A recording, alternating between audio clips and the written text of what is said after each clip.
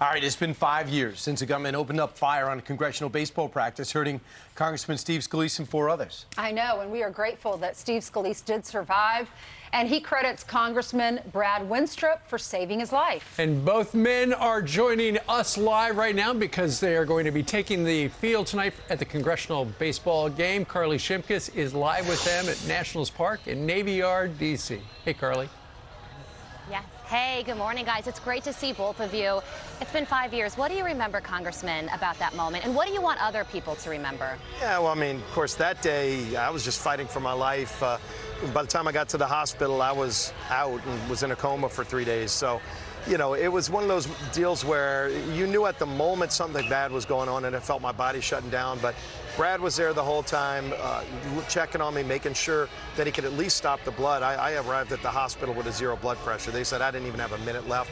If, if this guy wouldn't have jumped into action so quick and you know put a tourniquet to stop the bleeding, I wouldn't even made it to the hospital. Wow. So he's one well, of my heroes. Yeah, I was fortunate to, for some reason, I changed my mind to go to the batting cage instead of the outfield, so I wasn't trapped on the field.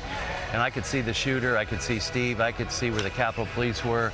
And so that was very fortunate, and all I kept thinking was keep my eye on Steve, get to him as soon as you can. It was a very eerie sight to see one person left out on that field, and it was Steve laying there. And you're saying that it could have been much different. You could have been right alongside him, but by the grace of God, you were in a safe location. I was in a So when the shooting location. stopped, you could get to him and save his life. Right. I had to move once because the shooter kept moving, and he was one time shooting right down my lane where I was on the other side of the field.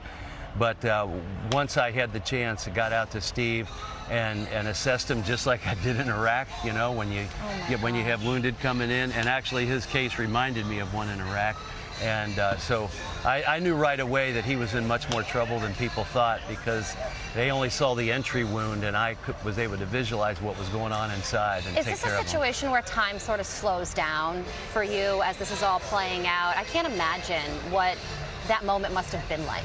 Yeah, you know, it's very strange. Maybe it's because of a year in Iraq under heavy fire all the time that I was just pretty normal about things. Wow. I felt natural and, and just went to work, but I was deeply concerned.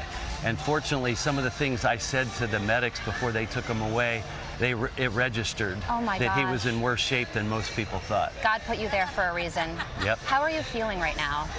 Feeling great. Look, it's been a long road to recovery, but uh, God performed miracles that day, putting Brad there, David Bailey and Crystal Griner with Capitol Police, who both were shot during the shootout, and yet ultimately took the shooter down to save all of us that were there. And uh, you And know, you share a unique bond with those people now. yeah, they are just like family. And, Really? And So they're true heroes. Yeah, I, Yeah. I mean, Dave's still on my team. Yeah. And Crystal, she's still with Capitol Police, and we talk on a regular basis. You know, on the anniversary of the shooting, we always talk uh, just about that shared experience and, you know, how lucky we all are that we still get to, you know, get to be with our family, do the things we love, and uh, could have turned out very different Never that day. take a moment for granted, Never right? take anything for granted. He's tough.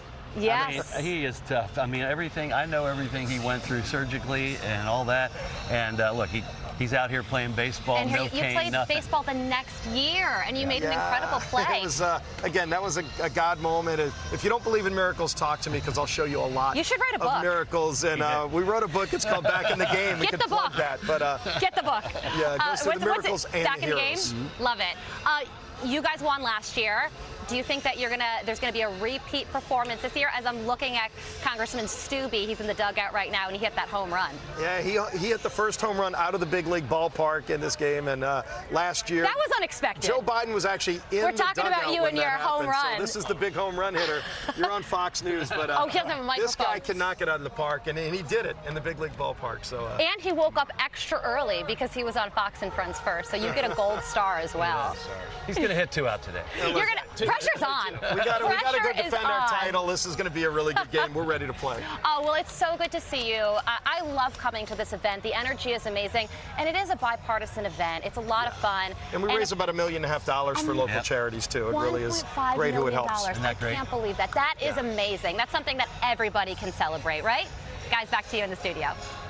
It is indeed, even though there are going to be protests, and we'll talk about that a little later on. Carley, thank you very much.